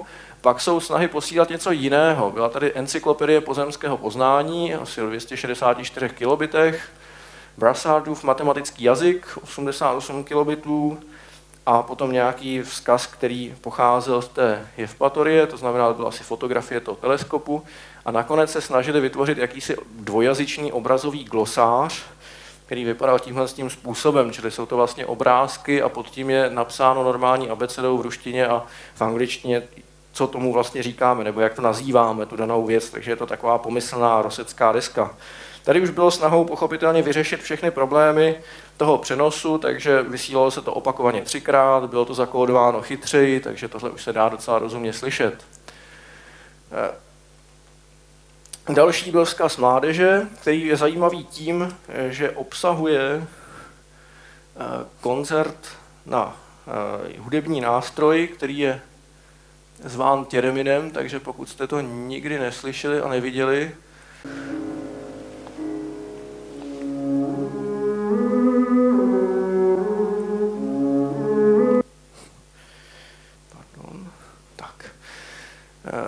Pochopitelně ne, zase americký svět nemohl zůstat sám, takže 2008 se odeslalo Across the Universe, což je skladba Beatles, které to udělali k 40. výročí své skladby a zároveň to bylo 50. výročí NASA, takže Beatles vysílali k Polárce svoji skladbu. V roce 2008 byly vzkazy ze země a tady už to začíná vypadat katastrofálně postupně. Neboť eh, bylo to iniciováno sociální sítí Bebo, která řekla, dobře, tak lidi budou posílat nějaké vzkazy, vezmeme tam nějaké monumenty ze země, budeme posílat obrázky dětí a, a obrázky ze země, necháme promluvit celebrity, takže aspoň z těch fyziků tam byl Sir Patrick Moore, ale z politiků tam byla celá řada politiků, včetně třeba Hillary Clintonové. V zásadě se všichni shodli, že to je úplně k ničemu, to, co se tam říká, že to nemá žádnou praktickou vědeckou hodnotu, je to opravdu jako zamávání, halo, jsme tady. Do jisté míry Něco podobného pokračuje dodnes. 2009 byly pozdravy ze země, využíval se k tomu tenhle ten radioteleskop 70-metrový Deep Space Network a jediné, co udělal, že poslal prostě nějaké osobní textové vzkazy, které lidi poslali, mraky textových vzkazů, tentokrát necelé 3 MB, které se odvysílaly k červenému trpaslíku Glíse, což samo o sobě jako tam asi ten život zrovna nebude skvétat. No a protože střeštěných nápadů není nikdy dost, tak rok, vlastně v, tém, v témže roce eh, se odvysílala sekvence genetická, DNA sekvence eh, proteinu, který je jeden z nejrozšířenějších tady na Zemi. Iniciátorem byl Joe Davis, MIT, který je trošku trhlý, by se dalo říci. Je to takový enfant, který byl a dělá spoustu spíše uměleckých projektů, takže tohle by se spíš tak dalo nazvat, že to je umělecký projekt, kdy se odvysílá sekvence tadyhle tohohle z toho proteinu, což je správně řečeno ribulóza 1,5 bisfosfát karboxylás oxygenáza. Je to zkrátka enzym, který fixuje uhlík v rámci fotosyntézy a odvysílalo se to k několika blízkým hvězdám. 2012 byla odpověď na ten signál wow a Recibo se rozhodlo, že je zase dobré se spopularizovat, takže se odvysílalo 10 tisíc tweetů se sociální sítě Twitter, takže opět úplně k ničemu, ale zase takové to pomyslné zamávání jsme tady. A něco podobného je projekt Lone Signal, což je crowdfundingový projekt, kde se vysílají krátké SMSky v podstatě k nějakým blízkým hvězdám, které si vyberete. Musíte to ale zaplatit. Takže opět je to v zásadě k ničemu. Hlavním problémem vůbec tohohle z toho vysílání je však to, že je krátkodobé. Kromě toho parazitního signálu radiových stanic a televizních je to krátkodobé. Vysíláte pár minut a pak je ticho. A je ticho ne na hodinu, dvě, na rok, na dva, ale na desítky let často. Takže není to úplně ideální a mnoho lidí říká, že ideální je posílat artefakty, protože konec konců smetí trousíme všude možně, tak proč bychom to smetí nevyužili nějakým chytrým způsobem, proč bychom nedávali na to smetí nějaké chytré vzkazy. Lidé posílají do vesmíru strašnou spoustu věcí, e, problémem je, že ne vždycky a všechno bývá tak úplně chytré a inteligentní. Takže budíš řečeno, že existují samozřejmě věci, kdy tam letí celebrity, takže eh, na vesmírnou orbitu do těch schránek se dostala i taková celebrita jako Hatsune Miku, což znamená hlas z budoucnosti. Je to dáma nesmírně populární, jak vidíte, vyprodává obrovské koncertní haly. Je to 16-letá dívenka, což je důležité, protože se objevila i na Playboy Weekly. Její obrázky navíc Eh, byla předskokankou Lady Gaga v roce 2014 a má tak velké množství fanoušků, že si vymohli, že letěla na kosmických lodích hned dvakrát. V jednom případě tedy na kanadských lodích, které havarovaly, takže se nedostali na, na orbitu, ale ve druhém případě eh, to byla kosmická loď Akatsuki, která byla vypuštěna japonskou agenturou JAXA a vydala se na svou pouť k Venuši. Samozřejmě, že tam neletěla ona sama, letěly tam její obrázky, jak vidíte, tak tedy množství fanoušků je obrovské, takže si to vymohli a myslím, že to nebylo naposledy.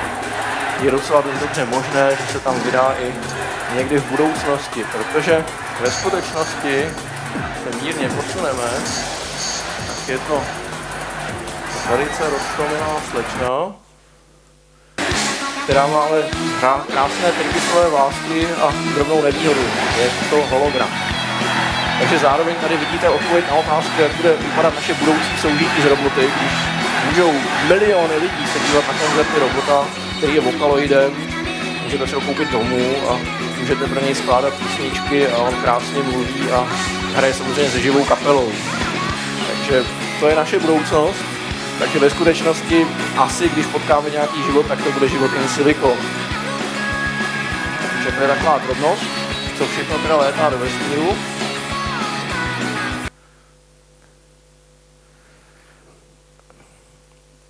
Jenomže do vesmíru se samozřejmě posílá celá řada jiných vzkazů, takže jednou, jedním z těch vzkazů je družice Lageos, která je na vzdálené orbitální dráze, která má na sobě takovouhle plaketu, kde se v podstatě snažíme napsat vzkaz sami pro sebe možná, ale možná tohle z toho bylo od Karla Seigna velice chytrým nápadem, kdy se snažil naznačit, jak vypadala Země v minulosti, tadyhle je naše současné rozložení kontinentu a vidíte, že vypouštíme družici a tadyhle za 8, necelých 8,5 milionů let zpátky ta družice spadne, takže je naznačeno, jaké bude zase rozložení kontinentu.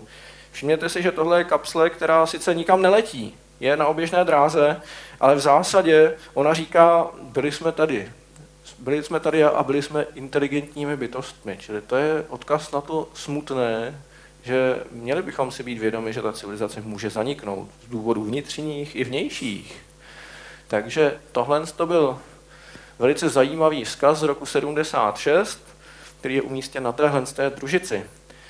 Pochopitelně my ten šrot všude možně ukládáme, ale přiznejme si, že když ho necháte ležet na Venuši, tak Eh, jak si korozivní prostředí zdestruuje takové družice. Když ho necháte ležet na Marsu, kam se taky posílalo kde co, včetně malinkatých figurek z Lega a já nevím, jakých jiných nesmyslů, eh, tak je to zase nevhodné, protože tam to zavaje písek a nenajdete to s velkou pravděpodobností. O něco lepší je to na měsíci, takže na měsíci existuje vzkaz na Apollo 11, kde je tam malinkatá vlastně mikrofiše, takovéhle velikosti, kde jsou ale bohužel věci, celkem nesmyslné. Jsou tam v podstatě poselství dobré vůle od 73 zemí, tentokrát ale bez České republiky nebo Československa tehdejšího.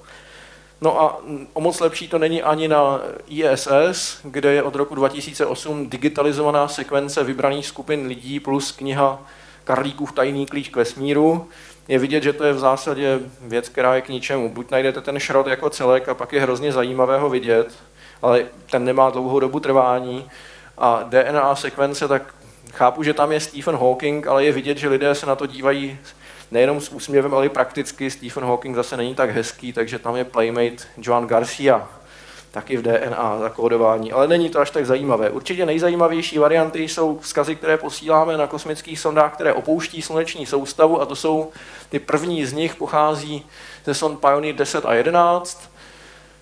Ve své podstatě dorazí za velmi dlouhou dobu k blízkým hvězdám, ať už k Aldebaranu a v Bíku, anebo k Lambdě Orla, ale vidíte, že to bude trvat miliony let řádově, ale ten samotný šrot je velmi zajímavý a pokud na něj přidáte nějakou aditivní informaci, tak se to v zásadě může hodit. Nicméně není to tak jednoduché, jak by se nám to zdálo, že když se podíváme na tu plaketu blíže, tak mnoho lidí si není jisto, co vlastně je na tom nejzajímavější. Nejzajímavější a nejdůležitější je tahle ta část. Musíte si uvědomit, že tohle je vlastně proton, tohle je elektron, tudíž tohle je vodík, a tohle je ortovodík a tohle je paravodík. A tady máte napsáno v binárním kódu 1, čili vy v podstatě říkáte, ano, moje měřítko bude vlnová délka 21 cm, která odpovídá tomuhle přechodu. No, pak je celkem zřejmé, co je tady nakreslené. Vidíme, že tadyhle máte postavu muže a ženy, žena ve výškových rozměrech je 8, takže měří 168 cm. Je tady schematicky naznačeno, jak vypadá kosmická sonda. Je tady i její trajektorie. Vidíte, že tady máte ještě znázorněného Pluta. A potom eh, se tady samozřejmě vyskytují i další záležitosti, jako je vzdálenost Slunce od eh, blízkých pulzarů, a pak to, co člověk musí uhádnout, co není úplně zřejmé, je tahle úsečka, což je v podstatě relativní vzdálenost Slunce od středu galaxie. Ten rozkaz vypadá velmi chytře a v zásadě asi by vás na první pohled nenapadlo, co je tam špatně, nicméně jsou tam věci prapodivné. Především, když se na to podíváte úplně nezávisle, tak si budete myslet, že na Zemi žijí tvorové eh, dvou druhů. Eh, někteří mají aditivní přídavná zařízení, ale především jeden z nich chodí takhle. Že jo? Čili není zřejmé, proč je tady vlastně ten zdra, to gesto pozdravu, byť se ukazuje, že tam má teda pět prstů, tak v zásadě je jasně nepochopitelné. Krom toho je zřejmé, že v podstatě znázorňujete, řekněme, rasově vybrané skupiny, No a tohle to vedlo k veliké kritice ze stran feministek, které říkaly, ne, ne, ne, to je úplně špatně, že jo. Protože tahle ta dáma za prvé nezdraví. Proč zdraví ten chlap a proč ne ta ženská? Proč je ta ženská hrozně malá vůči tomu muži? Jo, argument, že ženy jsou obecně menší, ten úplně neuspěl. No a navíc ona se vlastně natáčí v submisivním gestu vůči tomu muži, takže je úplně jasné, že to je špatně a feministky to nesmírně rozčílilo. Nicméně to nebyl hlavní problém. Hlavním problémem bylo, že byly hambatí. Takže některé americké žurnály se rozhodly, že tohle vůbec nepřetisknou, protože to je prostě pornografie. Případně vyretušovali ty aditivní zařízení, co se tam vyskytovalo u těch jedinců. Tak pak to mohli teprve přetisknout. Vypadá to hrozně směšně, ale je to holá pravda. Ono samozřejmě tam byla spousta jiných věcí, třeba šipka nemusí být pochopena tak, jak my ji chápeme. Je to prostě od šipky, kterou střílíme z luku. Od toho je ten směrový ukazatel, ale to už je, řekněme, drobnost. Nicméně asi nejhorší je v podstatě to, že do toho pašujeme nějaká kulturní gesta, která nejsou srozumitelná ani mezi civilizacemi tady na Zemi. Čili na to si člověk musí dát pozor, ale není to tak zlé.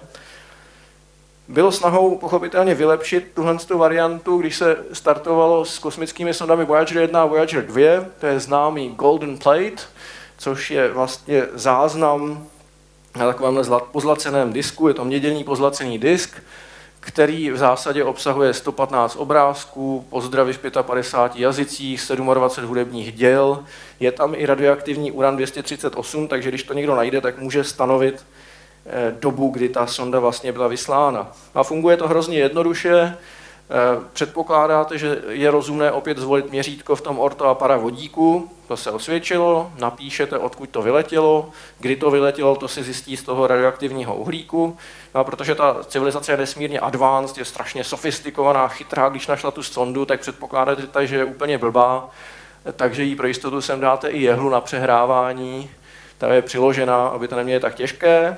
Takže je tam jehla na přehrávání gramofonové desky, vysvětlíte jí, jak vypadá změna signálu ze zvukového na video, to je tadyhle ten divný jakoby signál, vysvětlíte jim, jak je to eh, postupně, jak to má být skenováno a tadyhle ji nakreslíte, jak vypadá první obrázek, který se tam vyskytne. No, budíš řečeno, že ono se toho tam vyskytuje poměrně, poměrně dost, takže jsou tam různé hudební eh, záznamy, je tam záznam Hello from the children of planet Earth. Milí přátelé, přejeme vám vše nejlepší. To je docela dobré. Eh, pak jsou tam samozřejmě záznamy, které se týkají které se týkají eh, hudebních záležitostí, takže v tomhle tom případě jsou tam samozřejmě klasická díla, která by se vám líbila ale chápu, že mladší generaci, jak se braniborské koncerty od Bacha nemusí připadat úplně jiný. Takže byste tam našli i etnické záznamy. To byl vlastně první etnický etnohudba, která byla shromážděna. No, ale chápu, že i to je docela zapšklé, že jo, zvlášť pro mladší generaci. Takže máte tam i Charlie B. od Chucka Berryho.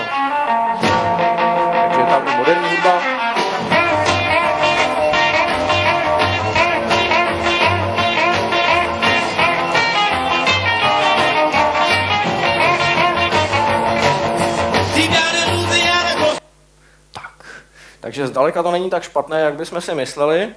No a já se pokusím, protože mě strašlivým způsobem tlačí čas, tak aspoň rychle a vtipně eh, okomentovat, cože jsme to tam vlastně nakreslili ve skutečnosti a co jsme se rozhodli, že teda sdělíme tak světoborného eh, mimozemšťanům. Takže vůbec ta první věc, která se tam vyskytuje, pardon, tak toho bude muset jít takhle, tak musíte přečíst ten kruh.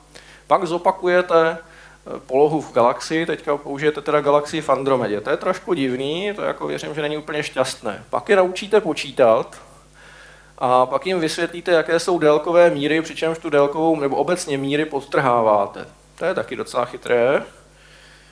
Pak jim vysvětlíte, jak vypadá naše sluneční soustava, jaké jsou rozměry těch jednotlivých planet, ukážete jim na hnusném obrázku sluníčko a pak jim ukážete sluneční spektrum. To děláte z důvodu, abyste dokázali okalibrovat barvy, protože ty další obrázky jsou barevné a je potřeba, aby teda nějaké posadili vůči teda spektru hvězdy spektrálního typu G2, že tady jsou spektrální čáry absorpční a následně ten obrázek barevný je vysílán třikrát ve třech barevných kanálech, jako RGB, jako Red, Green, Blue, či těchto z těch třech barvách. No a co jim ukazujeme? Vidíte, že to je docela poplatné době.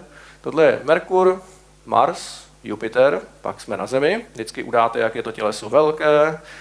Na Zemi napíšete, jaké je složení atmosféry. Eh, odznačujeme vlastně jednotlivé atomy a jejich složení ve zlomcích v té atmosféře. Pak se ukáže, že jsme fakt posedlí tou DNA, což je dané dobou, takže jim vysvětlíte, jak vypadají jednotlivé základní atomy, které tvoří naše tělo, pak jim nakreslíte schémata, tadyhle vlastně jste řekli, jak vypadá dusík, uhlík, takže ty pak používáte dál. Je vidět, že některá značení jsou nesmyslná i pro nás dneska. Tadyhle cytozín značíte jako S, dneska se značí běžně jako C, pak jim vysvětlíte, jak vypadá DNA, jak vypadá ten řetězec chemicky, jak vypadá a jak se vlastně kopíruje, vysvětlíte jim, jaké má stoupání. Tohle je docela chytré, protože už jste jim nakreslili, jak konkrétně vypadá a tadyhle máte obrázek buněk, které se postupně množí. Pak přiznejme si, pokud jste si mysleli, že tam to předchozí byla velká legrace, kdy jsem říkal, že ty hambatinky a nahotinky, že to teda ne, to neprojde u americké veřejnosti, neprojde. Takže z hlediska anatomie jsme se raději vrhli do vnitřní struktury orgánů. Bohužel jsou to kopie z anatomických atlasů, včetně čísel a některých anglických popisků. Což úplně teda smysl nedává, ale, ale dobře. Je asi důležité ukázat, že máme vnitřní kostru, ale nemělo by to být popsáno teda anglicky. Tadyhle vidíte, že to máte s anglickými popisky, ale opět si všimněte, je to anatomické. Nikde tam neuvidíte nahatého člověka, rozumně. Jo? Takže tohle je takový sex pro náctileté. Tady to rozebíráte až po úroveň spermí, že jo? vždycky se ukáže obrázek a tadyhle od něj černobílej překres, překres, kde se popíše, co je co. A tady je vlastně popis vývoje člověka, takže tady, když už došlo k onomu aktu, tak vidíte, jak se vajíčko postupně množí, jak roste človíček. Tady máte človíčka a tohle je nejsexuálnější obrázek, který tam je v tuhle chvíli dotáhnete to až po porod a po kojení, takže nový jedinec se přicucne. Nicméně už tenhle ten obrázek, to je veliký ústupek NASA právě té předchozí kritice, je úplně nesmyslný, ale všimněte si, že žena povyrostla. Jo? Takže i těm feministkám dopřáli sluchu, Eh, na sex nedojde, to nic takového, jak se to dělá, je tajemství, takže ty dva páry, se, nebo ty dva partneři se drží za ruce, což podle všeho evidentně musí strašlivě zesložitit interpretaci toho, co tady je nakreslené v tuhle tu chvíli. Ale je to dostatečně asexuální, takže všichni byli spokojeni, aspoň trochu, teda popravdě řečeno. Pak ukážete, jak vypadá lidská rodina, zase přidáte nějaké škály času, něco zmíníte o geologii země, o složení země, pak ukážete prostředí na zemi. Je ovšem komplikováno tím, že je to nejenom prostředí, ale jsou to dohromady stavby i e, třeba zvířata a lidé. A někdy to jde teda ad absurdum. Tadyhle máte vlastně roční období, přírodu, vždycky třeba měřítko. Všem, když se tadyhle člověk podívá, tak já nevím, jestli jíme listí, nebo Prostě dáma, co hrabe listí, musí být interpretována i pro normální pozemštěny velmi složitě. Prostě proč to dělá? Jako je těžko poznat, co vlastně dělá, jestli to je toxické, to, co padá z toho, nebo proč, nebo trpí obsesí v podstatě. Že? Jako všichni Evropané trpí obsesí, ale většina země koule nikoliv. Něco málo jsme ukázali i z přírody. Opět je to zase složité, ty obrázky nejsou vybrané šťastně a asi stěžují interpretaci. Tady je taková divná ryba, a tadyhle je něco velmi divného, co ošahává mrtvého krokodýla. Jo? Plus to, že tady je divný živočich, který má takovou divnou packu. Jo, zase, když si to přeberete, tak je velmi těžké interpretovat, co vidíte, když byste odhlédli od toho, že my víme, co vidíme. No, pak jsou tady lidé, hambatí samozřejmě jenom ze zadu a jenom muži, nicméně podařilo se. Jo, tadyhle do toho hnusného obrázku, který má znázorňovat evoluci, je propašována reminiscence toho předchozího, takže muž nyní má připaženo, žena je takhle, takže žena zdraví, Navíc jsou oba dva dostatečně hambatí s aditivními orgány, včetně naznačení eh, pohlavních orgánů ženy, což v tom předchozím neprošlo do toho pioníru. Tam jako tohle naznačení bylo pro jistotu opomenuto, takže tady se to pokusili napravit. Takže feministky jásali a oni to udělali podle všeho na truc. Eh, tady už je pak výzkum přírody, tady máte Jane Goodalovou, jak zkoumá šimpanze. Jsou tady lidé, jak ovládají zvířata, to může být zajímavé, tady je propagace kuřáctví na kosmické úrovni. Jsou tady pochopitelně i snahy ukázat rasy, rasové rozdíly. Zase otázka, tady máte děti kolem globu, znamená to, že děti teda vládnou světu, nebo i ta interpretace kulturní je velmi obtížná v tomhle případě a velmi obtížné je to zvlášť v tomhle případě. Tady je velmi instruktážně znázorněno, jak se oblizujeme ze uzmrzliny, jak hlodáme nějakou sušenku a jak pijeme, to je dobrý nápad. Na druhou stranu, proč je tady pěstování bavlny a hned v zápětí, jak se pěstují hrozny, vína, to není úplně jasné, že jo? nejvíc lidí pěstuje rýži, popravdě řečeno. A co je ještě záhadnější, tady máte supermarket, takže nejenom, že baštíme víno, ale občas schroupeme nějaký modílek auta, a já nevím, co všechno. Je to velmi složité, jak si interpretovat i pro člověka znalého, co se tady odehrává. No a pochopitelně tady jako asi jíme ryby nebo je fotografujeme, není to jasné, co se tam vlastně děje. A trošku to zamlžíme i v případě eh, staveb. Nevím, proč je tam vlastně čínská, velká čínská zeď, tou se začíná, pak se teprve staví jakási primitivní údobí, nebo pardon, eh, primitivní obydlí. Jak vidíte, tak všichni skoro teda takhle bydlíme, ale nevím, jestli bych to říkal dál. No a aby bylo zase opět učiněno politické korektnosti za dost, tak tohle je stavba dřevěnky, dřevěné roubenky, tak říkajíc, kterou staví Ámišové. Takže vidíte, že když se dostatečně protestuje a jste prudérní, tak vás nakonec pošlou i do vesmíru jako správné zástupce. Něco málo nám tady zůstává pochopitelně z těch normálních obydlí, normální dům. Vidíte, každý má doma krb, takže nemáme zdroje energie, topíme si ne ani v kamnech, ale jenom na otevřeném ohništi. Není od věci ukázat, jak vypadá Oxford a Boston, takže vidíte, že vysoké školy se v tom taky trošku angažovaly. Pak se ukáží budovy Spojených národů a rozestavěná opera, opera v Sydney. No a pak následují některé humornější obrázky. Říkáte si, ukážeme něco z techniky, tak jasně, pracovník, továrna, tohle je těžké, jsem, jsem si musel napsat, že to je muzeum, to jsem ani nebyl schopen poznat. Je jistě zajímavé ukázat rengenový snímek a to, jak vypadáme. Nicméně, protože nevíte, na co se díváte, tak se nemůžete divit, že ve Stopařově průvodci po galaxii byl Ford Chrysler, protože to jsou velmi oblíbení tvoři, kteří tady žijí a stavíme pro ně takové rovné cesty. Jinak je zajímavé, že teda to pak tady máte třeba i povoz v tuhle tu chvíli. Zase, když to zasadíte do nějakého kontextu, tak je velmi těžké poznat, na co se vlastně díváte v tomhle případě. No a dostáváme se na samotný konec. Tady máme radioteleskopy a tady je advanced technika ve formě cyklistů. Jo, zase úplně záhadné, kde se to tady vzalo. Je tady taky raketa Titan Centaur, která vynesla Voyager a končí to Newtonovými principiemi, takže z techniky jsme jim zase nic tak závratného neukázali. Tadyhle akorát jak padáme do nějaké ledové průrvy. No a z umění studenti se vždycky ptají, jestli jsme ukazovali nějaké obrazy. Neukazovali, taky kdybyste to udělali, tak ty ufoni by byli úplně zmatení a zoufalí, protože by ne, už takhle vidíte, že nejste na fotografiích schopni poznat mnohdy ani, co tam je a co se tím chce říct tak jsme ukázali aspoň romantický obrázek. To je jediné, co tam vyskytuje, kvarteto a partituru. A zajímavé je, že Sagan tohle komentoval, co by autor již napsal. The launching of this bottle into the cosmic ocean says something very hopeful about life on this planet. Čili vlastně, že ten vzkaz téhle vláhvy říká, vzkaz vláhy do kosmického oceánu říká něco velice nadějného, o životě na této planetě. Nicméně, jak mě všichni mý kolegové znají, tak já nejsem optimista, takže vám to teďka rozvrátím. Tohle všechno vypadá hrozně hezky a moudře. Nicméně my už si tak nepočínáme, protože kritika těch dvou vzkazů byla tak mocná, a především kritika, že to je hambaté a že to je obscénní a nevím co všechno, tak vedla k tomu, že lidé, když vysílali sondu New Horizon, která teďka proletla kolem Pluta, je velmi úspěšná a je to zřejmě na dobu našich životů poslední kosmická sonda, která opouští sluneční soustavu, protože prostě není palivo do takovéhle sondy, tak eh, místo toho, aby tam zopakovali aspoň ten docela rozumný vzkaz z těch pionýrů, Eh, tak právě proto, že to bylo označeno za obscénní a že jsou to nehezké nahotinky, tak to neudělali. A začali tam posílat neuvěřitelné nesmysly. Takže na téhle lodi neletí vůbec nic chytrého. Najdete tam trosku ze Spaceship One, americkou vlajku, pamětní medaily, tadyhle trochu 30 gramů popela Clyda Tomboa, co by objevitele Pluta.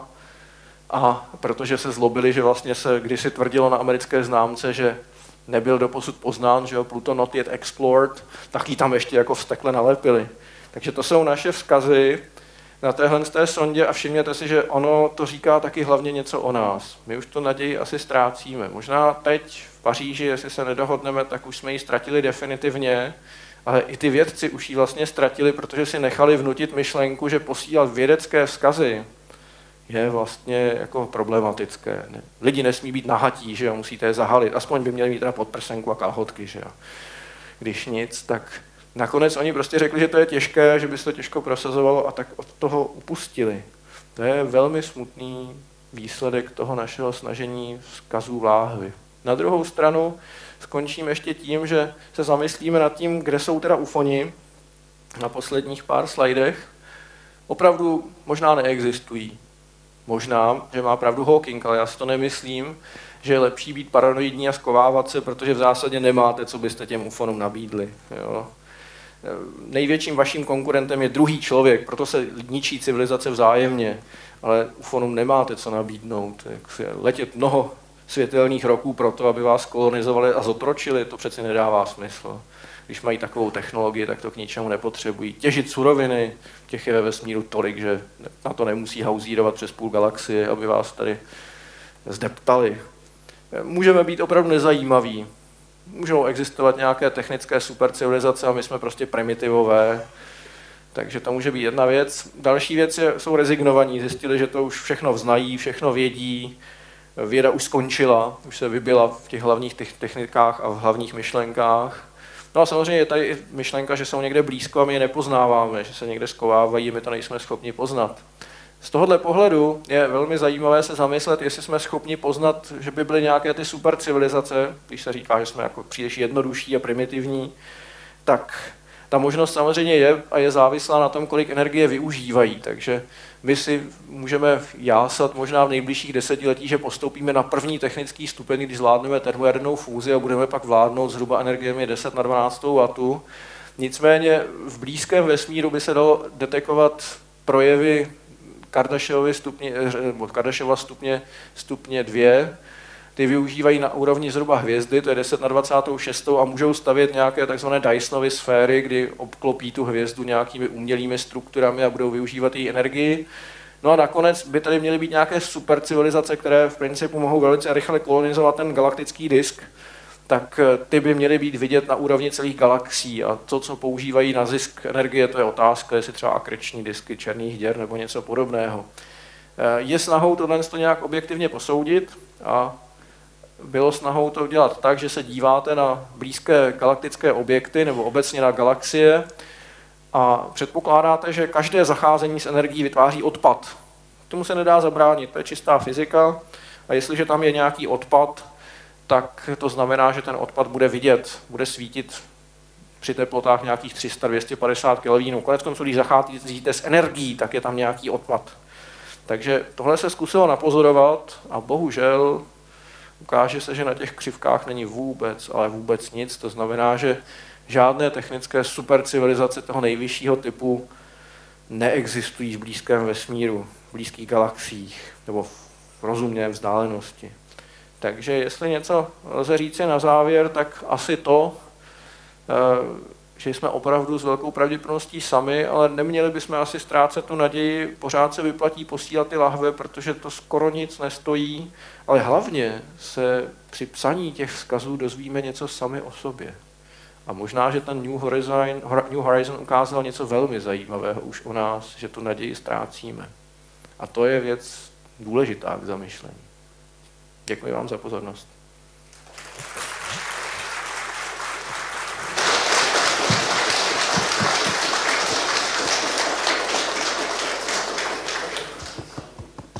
My také děkujeme a já otevírám eh, krátkou diskusi.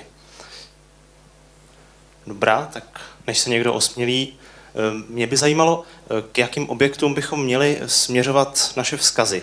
Tam byla kulová hvězdokoupa, to jsou ale dynamické objekty, kde civilizace těžko vznikne. Tak jestli k těm exoplanetám, co si myslíme? To je dobrá otázka. Ve skutečnosti existuje celý seznam, několik seznamů vytvořených objektů, které by potenciálně mohly hostit aspoň nějaký život. Takže z těch exoplanet, které známe v tuhle chvíli, tak jsou vytvořené seznamy, které říkají, ano, tady jako potenciálně bychom mohli hledat obyvatelné planety. Neznamená to, že už je tam máme, že jsme je našli, ale prostě zvolili jsme nějaké spektrální typy hvězd. Zároveň jsme vybrali taková jaksi místa, že ty hvězdy nejsou třeba příliš aktivní a jsou dostatečně blízko, aby tam ten signál doletěl s malou mírou šumu takže je snahou vysílat k blízkým hvězdám do 100 světelných roků a spektrálního typu blízkého našemu slunci nebo o trošku méně hmotných. Tak, neosmělil se teďka někdo? Osmělil, už tam běžím. Počkejte, vydržte, vydržte, vydržte. Já do mikrofonu. tak eh, mě by zajímalo, proč se používají na těch deskách k určení naší polohy pulzary, protože jestli se nepletu, tak oni pulzují jenom vzhledem vůči nám. No ono se nic lepšího najít nedá. Protože hvězdy sice, hvězdy samozřejmě všechny postupně obíhají, ale není moc velkých šancí, jak se identifikovat tu kterou konkrétní. Pulze se dá snadno identifikovat pomocí frekvence, eh, kterou vysílá. Navíc se ještě samozřejmě dá i usoudit, eh, kdy ta sonda vyletěla u těch pionýrů, které nenesou ten vzorek uranu, tak oni pomalinku zpomalují ty pulzary, takže i podle změněné frekvence se dá usoudit, kdy sonda byla vypuštěna a v podstatě to je jediný maják, který je jakž tak stabilní po nějakou rozumnou dobu. Uznávám, že to není snadné, jak si vědět, kde všechny jsou, protože všechny vlastně jako míří směrem na nás, ale předpokládá se, že když je někdo schopen najít kosmickou sondu, co by malinkaté zrníčko prachu v nezměrných končinách kosmického oceánu, tak asi tu galaxii bude mít trošku jako promáklou a bude mít ty mapy a bude vědět, kde jsou příslušné pulzary a na jakých frekvencích se ozývají. Jinak je velmi těžké najít něco jiného. V podstatě nic takového není. Že? Systém galaxie je velice silně dynamický a nemůžete rozlišovat jednotlivé hvězdy, i když to uděláte spektrálně a hmotnostně a nevím co všechno, tak takových objektů je příliš mnoho, než abyste se k ním mohli nějak přesně vztáhnout. Takže jinou šanci nemáte. Nápad s těmi pulzary je podle všeho opravdu velice, velice chytrý. A předpokládá, že teda ten, kdo to najde, je taky velice, velice chytrý. Ale vzhledem k tomu, jak je to zrnko písku malé, tak to je rozumný předpoklad.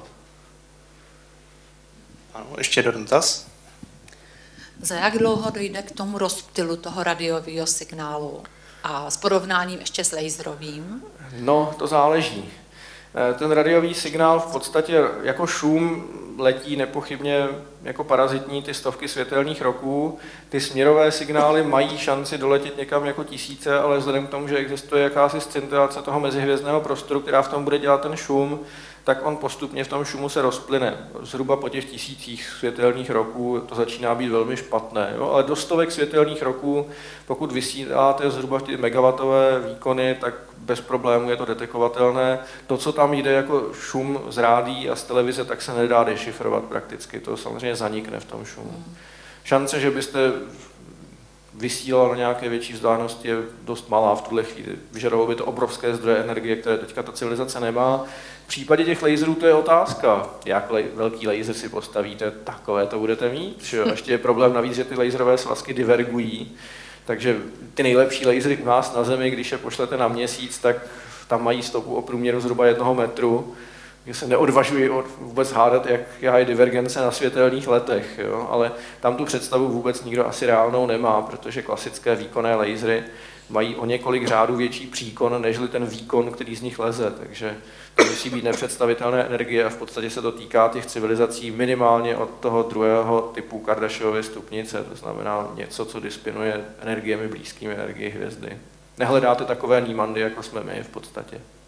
A ještě takový dotaz, jak se objevil ten signál wow. Hmm. Takže kdybychom poslali k tomu souvězdí střelce, ale my bychom museli nějak odhadnout, že dojde k tomu galaktickému pohybu, čili ho vlastně poslat teď nějak trošku jinam na šikmo nebo tak. Prostě to spočítat, aby byla šance, že by tam do toho přibližného místa doletěl. Problém je v tom, že my nevíme, odkud on vyletěl. Ono tam nic není.